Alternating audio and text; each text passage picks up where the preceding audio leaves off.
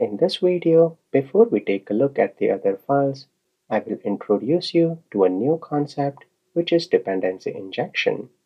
ASP.NET Core implements a simple built-in dependency injection. Container dependency injection is an integral part of the ASP.NET Core architecture. .NET Core injects objects of dependency classes through constructor by using the built-in IOC container.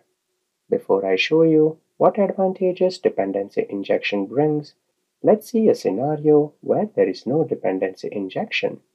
In a typical application, let's say we have three pages right now, and we have some common functionality that we want to use across all the three pages.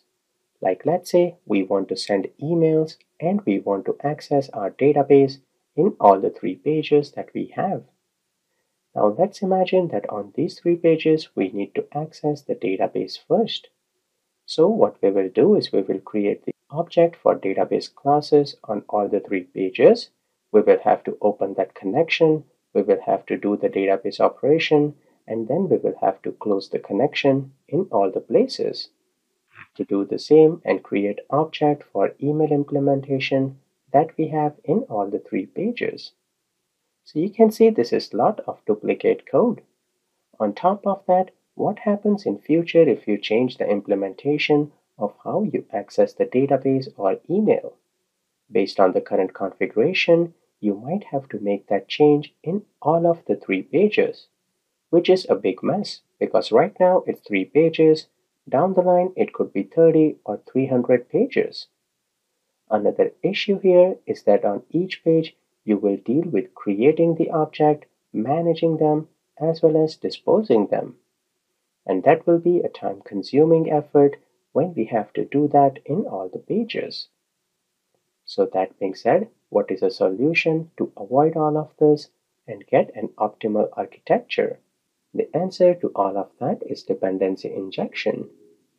First, let me show how this scenario would look like Again, we will have the three pages and we will have email and database functionality. These are the common things that we had before as well. But now we will have something special, which is dependency injection container. So as you can see, we have got our dependency injection container that will have an iEmail and an IDB interface and its implementation. So inside our container, we have the implementation of the iEmail interface and the IDB interface. When any page will need access to these functionalities, it will just ask the dependency injection container to create an object of this functionality and directly give page an object to use.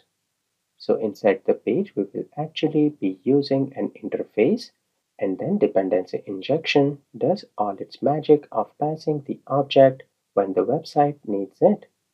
That way we do not have to deal with creating the object, disposing, or managing that object inside our pages. Our pages will look very clean with just the interface.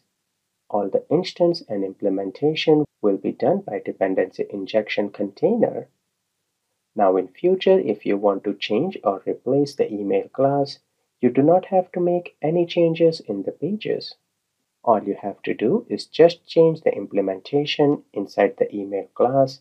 And since we are registering that in the container, next time when we build the project, it will take the new implementation. So you can see we only have to change in one place now.